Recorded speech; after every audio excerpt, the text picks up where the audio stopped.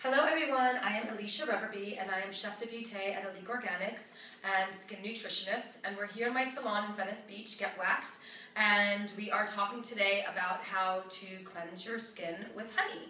Uh, honey is a core ingredient of our line and one of our most beloved skin foods. And so many people ask me all the time how do you cleanse with honey? Isn't it sticky? Isn't it gooey? Does it stick to your face? How do you rinse it off? So because we love it so much and we encourage and want people to use honey, I wanted to create a video to show you how simple it is um, to use honey on your face. So uh, just a little bit about why we love honey so much um, and why it's such an essential food for your skin. Honey contains high amounts of gluconic acid. And what gluconic acid will do is it will break down all of that glue that holds your dead skin cells together um, in the follicle, on the surface. So it is a very uh, mild way to give your skin a very deep cleanse. Um, as, as, opposed to using, you know, harsh acids and, you know, peels and so forth. Honey will do the job in a very gentle and effective manner. Honey is loaded with um, minerals and vitamins um, that nourish your skin topically. So consistent use, you are building a gorgeous surface immunity of the skin. As well, honey is a humectant. So honey will draw moisture to the skin. So you will notice when you do use honey consistently, consistently, the tone of your skin is supple and moist and just very happy, very protected. As well, honey is antibacterial and anti-inflammatory. And if you suffer from acne, honey is probably going to be your best friend. Um, it will calm your skin, it will soothe your skin, it will help because of that gluconic acid to break up all those dead skin cells and really give you the proper deep cleanse that you need.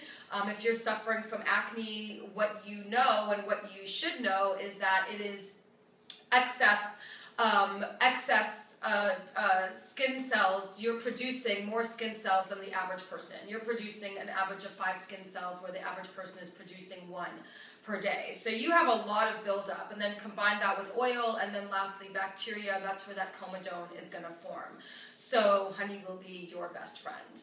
So we have some honey here. Um, this is um, a gorgeous honey from one of my local beekeepers. And this one has a gorgeous, nice uh, texture to it. So it does give that feeling of exfoliating, which some people like.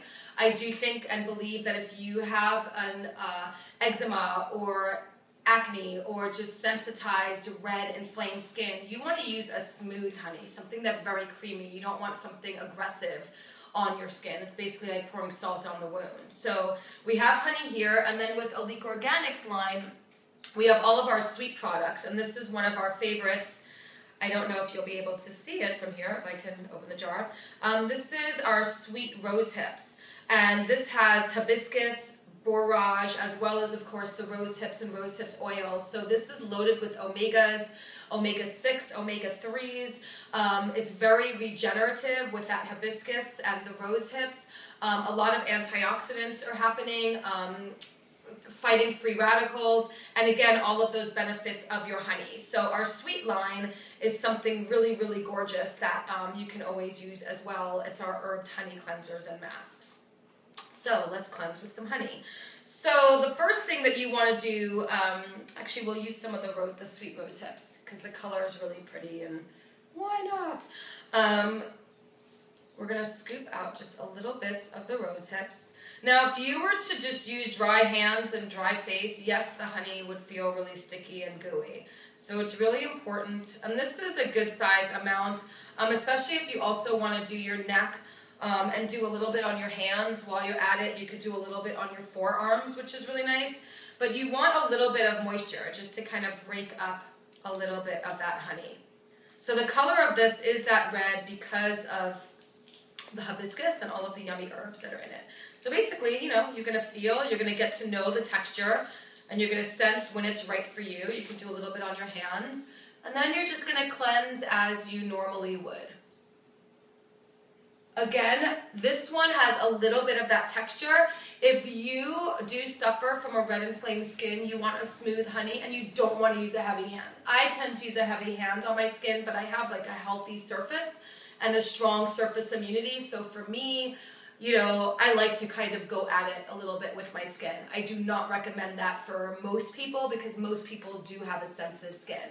So, for example, where I'm kind of going like this, you might want to just be really, really gentle with a really light hand. Definitely get around here, all these little crevices. This is your T-zone area, so this is the area of your face that produces more oil than, say, cheeks and the sides of your jaw, this whole area. So when you're using honey, definitely kind of get, make sure you're really getting in those areas as well. Don't forget your forehead. Now, a couple of things that you can do. So if you want to mask with the honey, you can just leave this on as is right now. You can rinse your hands, you can go about your business, leave the honey on for a good 20 minutes, have a really great mask, or if you're just cleansing, which we're doing now, you're going to rinse your honey off. So that is your process. And now we're just going to rinse off.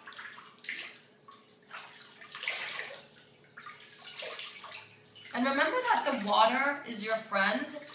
People don't take a lot of time to rinse, and so many people, their skin is just so dehydrated.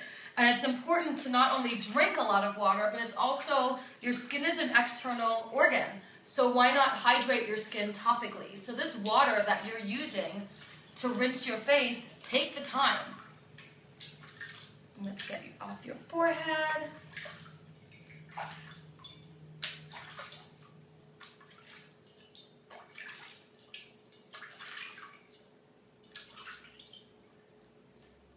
And always like a nice warm water. You don't want very hot water, even if you do have healthy skin like mine, like hot, hot, hot all the time it's unnecessary because most of us take in a really nice hot shower. Most of us like a hot shower, so we're already incorporating that daily. So if you're washing your face in the evening, just use a nice warm water. If you have a red, inflamed skin, definitely a cool, tepid, warm water. Okay? So your honey is off. We rinsed it off.